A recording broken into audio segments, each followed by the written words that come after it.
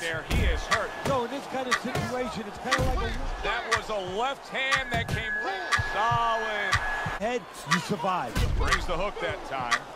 Scores big with the hook to the head. Big shot. That was Intensifying here in this third round. And remember what Gibbs said. Oh,